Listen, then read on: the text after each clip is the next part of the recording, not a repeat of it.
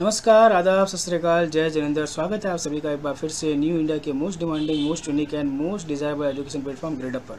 आज का हमारा टॉपिक रहेगा आर्मेनियन जिनोसाइड यानी कि आर्मेनियन नरसहार, और टॉपिक न्यूज़ में इसीलिए है क्योंकि अमेरिकी राष्ट्रपति जो बाइडेन ने पंद्रह, उन्नीस से लेकर उन्नीस सत्रह के बीच के अंदर जो ओटोमान तुर्क है, उनके द्वारा किए गए आर्मेनियन लोगों की हत्या को जो है नरसहार के रूप में मान्यता देती है। मैं मोहम्मद जवाद, आप सभी का एक बार फिर से स्वागत करता हूँ ग्रेड पर।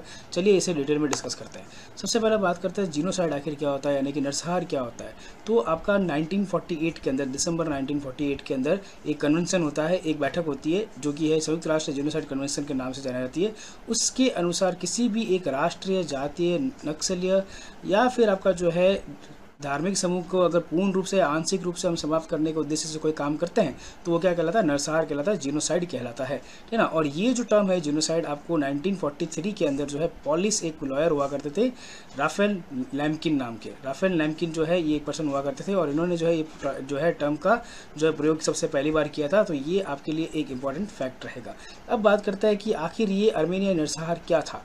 अर्मेनिया नरसहार की बात करें तो अर्मेनिया नरसहार को जो है, हमारे बीसवीं सदी का पहला जीनोसाइड कहा जाता है। ना बीसवीं सदी का पहला नरसंहार के रूप में जाना जाता है और ये जो है वर्ष 1915 से लेकर 1917 के बीच के अंदर आपका तुर्क साम्राज्य के लिए जो है, जो अर्मेनियाई लोगों के जो वार्ड था, वो जिस तरह से उनको ख़त्म करना चाहते थे, उससे रिलेटेड पार्ट था। क्योंकि नवंबर 1914 का पार्ट जो था, उसमें को प्रथम विश्व युद्ध की शुरुआत हो चुकी थी और ओटोमान जो साम्राज्य था, ओटोमान जो तुर्क थे, वो जर्मनी और ऑस्ट्रो हंगरी साम्राज्य जो था, उसके साथ मिलकर युद्ध के अंदर भाग ले रहे थे।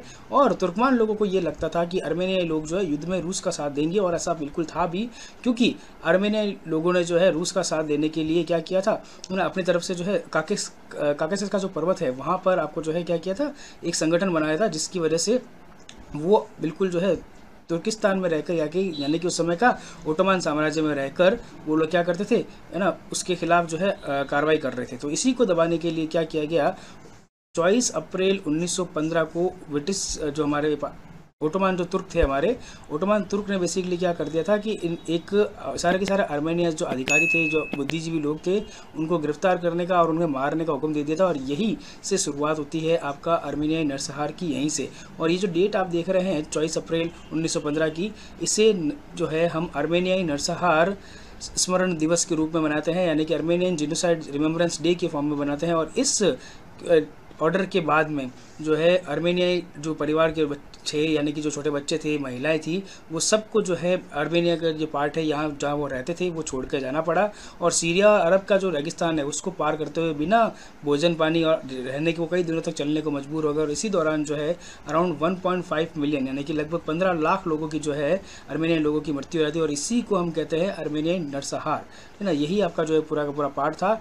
और इस मान्यता जो दी गई है अमेरिका के द्वारा, इसका क्या बेनिफिट रहेगा, इसकी अगर हम बात करें तो इस मान्यता का बेनिफिट आपका ये रहेगा कि इसके द्वारा जो है, एक तो हम लीगल एक्शंस जो है, तुर्की के ऊपर ले सकते हैं, यानी कि कानूनी जो है, प्रभाव उसके ऊपर कुछ ना कुछ पड़ेगा। और साथ ही साथ, जो अन्य देश है, वो भी अमेरिका जैसी सुपर पावर की तरह से जो है, मान्यता मिलने पर वो भी जो है, तुर्की के सामने इस तरह की प्रॉब्लम को जो है शो करने के लिए वो उनके ऊपर इस तरह को मान्यता दे सकते हैं। तो ये आपका जो है एक पार्ट रहेगा जो कि इसका मान्यता का महत्व रहेगा। अगर हम बात करें कि तुर्की की क्या प्रक्रिया है तो तुर्की ने जो है इस पर्टिकुलर पार्ट के ऊपर, यानी कि इस मान्यता के ऊपर है ना, स्वीकार करते हुए एक चीज़ कही है कि हाँ अर्मेनियन लोगों के साथ जो है अत्याचार किए गए थे, लेकिन उसने ये भी मना किया है कि ये जो है नरसंहार नहीं था और ये जो आंकड़ा हम बताते हैं वन मिलियन लैक का मिलियन का जो आंकड़ा बताते हैं, ये बिल्कुल गलत है। ये इस तरह का कभी कुछ लोगों की डेथ जो है, वो हुई नहीं थी।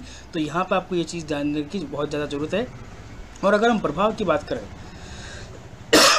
सॉरी अगर हम प्रभाव की बात करें तो यूएस और जो है, तुर्की का जो रिलेशन है, वो और भी ज़्यादा जो है प्रॉब्लम ही क्रिएट करेगा। क्योंकि आपको पता है कि ऑलरेडी यूएस और तुर्की के बीच में प्रॉब्लम चल रही, चाहे वो एस फोर हंड्रेड का रक्षा प्रणाली खरीद की बात हो या सीरिया के साथ जो है संबंध, सीरिया के संबंध में तुर्की की विदेश नीति उन सबको लेकर जो है अभी ऑलरेडी यूएस और तुर्की के बीच में जो है किसी भी तरह का विवाद चल रहा है ये इस विवाद को और बढ़ाने वाला ही है। अब बात करें भारत के ऊपर रुख की, कि भारत का इसका क्यों क्या रुख है तो भारत ने जो है औपचारिक रूप से कभी भी जो है नरसंहार को है, यानी कि आर्मेनिया जो नरसंहार है, इससे कभी मान्यता नहीं दी। क्यों? क्योंकि भारत की अपनी एक विदेश नीति है और वो कुछ वहाँ पे जो है एक भू राजनीतिक हित है, उसको ध्यान में रखते हुए इसे कभी मान्यता नहीं दी गई थी। तो ये आपका पूरा का पूरा पार्ट था जो कि रिलेटेड था और एक चीज़ आपको मैम भारत के रेस्पेक्ट में और बता देते हैं कि भारत को में अंदर जो है किसी भी तरह का ऐसा कोई कानून नहीं है, एक कोई भी घरेलू कानून नहीं है जो कि बेसिकली नर, नरसंहार से जो है रिलेट करता और यही कारण था कि 2018 के अंदर जब केस हुआ 1984 के सिख दंगों को लेकर, उसके ऊपर कोई भी कार्रवाई नहीं हो पाई क्योंकि हमारे पास ऐसा कोई कानून ही नहीं है। तो ये इससे संबंधित पार्ट था और जितना कुछ हमने अभी डिस्कस किया है, उसको आप एक ही इमेज के अंदर याद कर सकते हैं। ये आपका जो पार्ट है, ये माइंड मैप्स कहलाते हैं।